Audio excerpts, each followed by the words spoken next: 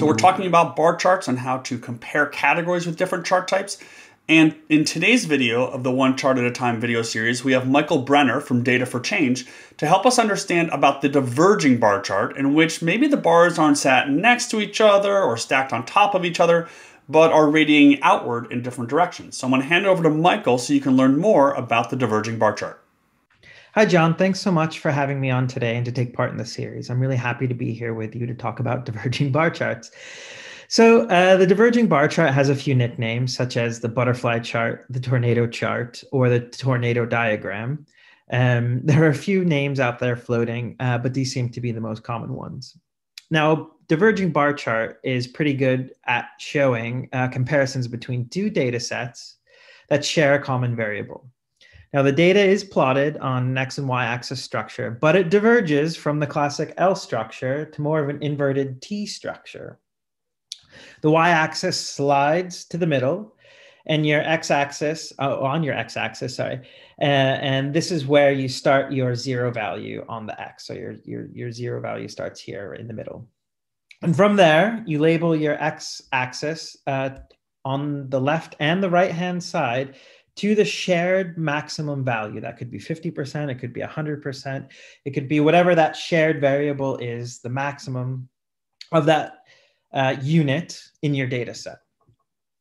So once you've got your structure set and you start plotting your data, the data is then plotted in A and B uh, categories to compare because that's what you're doing the diverging bar chart is to compare two different data sets. So uh, then once you've plotted it, you can easily see uh, data set A and data set B. And once they're plotted, I'm sure they'll have some sort of shape like that. And then you'll be able to easily see, because you've got your shared uh, maximum value on the right and to the left, how different they are or how similar they are depending on uh, depending on the data. But this is definitely the key takeaway for this type of chart is, is that there needs to be the shared variable in the data sets, in the two data sets that you're going to be plotting. So let's take a quick look at some examples and this will be uh, come much more clear I'm to share my screen. We're going to look at an example uh, here. So this is a chart from a Makeover Monday uh, designed by Gwendolyn Tan, and it's looking at a century of women in the House of Representatives. So we have data set A on the right, which is the Republican Party, and data set B on the left, which is the Democrats. And looking, and on our y-axis, we have the various iterations of Congress over time, starting with the 65th um, Congress and going up to uh, the 115th Congress um, which just ended in 2019. We've now got the 116th Congress now, and basically we're looking at the representation of women by political party over time. So we can see that over time, Democrats have in, have had more female or women representation in their party, but there's still a long way to go. We obviously know, and that there needs to be, um, yeah, those those bars need to definitely shift out a bit more and there needs to be more equal representation. So this is kind of a classic structure. You can see down here in the, um, can I annotate? No, no, I'm definitely not going to do that. So down here is it our 0% and then the two, uh, the two, the, the two, um, endpoints A and B are at 50%, and then we're able to plot the data um, in this chart and make the easy comparison.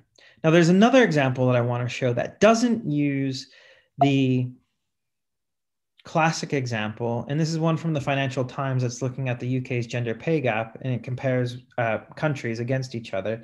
But where this again diverges is, is, is that it's not using the zero point in the x-axis, but it's actually using a different value, and that's using the OECD average. And from there, countries are then compared to this average in how far or away they are, and in this case, away being towards zero, so that there's gender parity in um, in pay, and that there's no gender pay gap, is obviously better.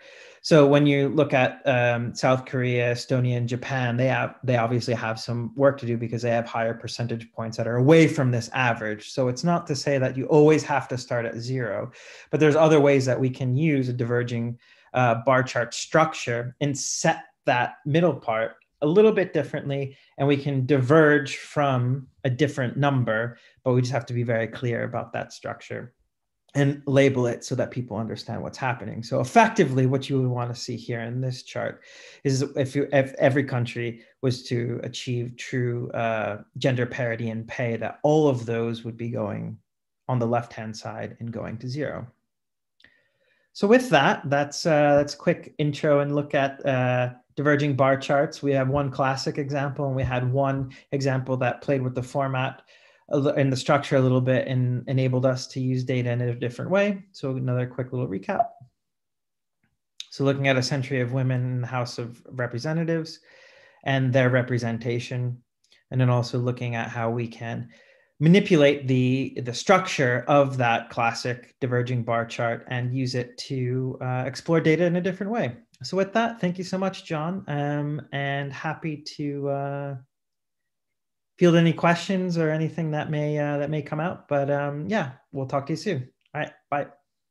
And Michael, thanks so much for that great review of the diverging bar chart. I'm sure many of you who are watching this series have seen or used diverging bar charts before, but as you can see in Michael's video, there's lots of ways that you can use that particular chart type for your data. So I hope you'll go out and explore it and try to use it some more.